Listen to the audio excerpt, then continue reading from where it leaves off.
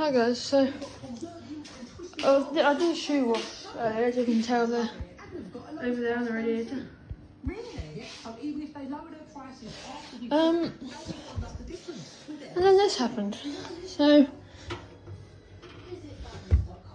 you've got a paddle, another paddle, but then yeah.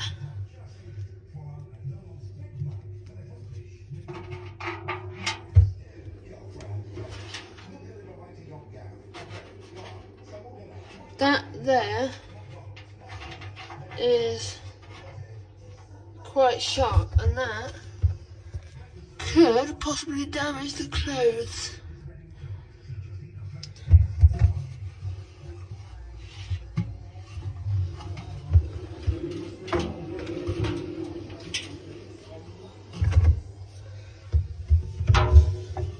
But yeah, I don't know how you can see it very well, but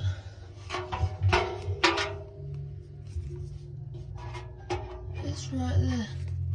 That could damage the clothes and Mum's gonna put it on a wash at some point. See how um see how it copes.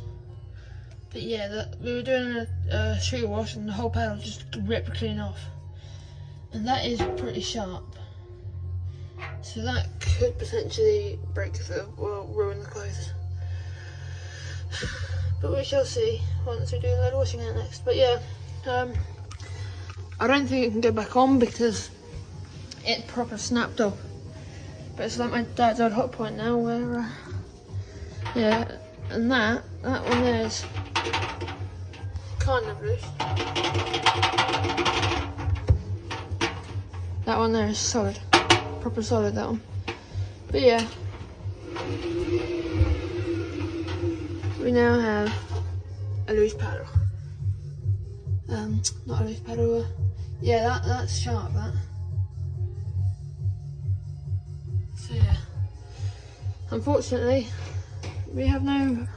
Well, we have a missing paddle, which means I know I said it a lot, but you know, still, which means now that if we wash clothes and that bit kind of gets in the way, then there's to be stab holes through the clothes, I can guarantee that one. So, yeah. Just thought I'd tell you. Because, well, yeah. Just like my dad's Hotpoint now. Right. Door feels pretty clean as well. We've had it for two years and it's pretty clean. Shocks. Quite good. Yeah. Just a messing paddle really. Yeah, see you all soon. Bye.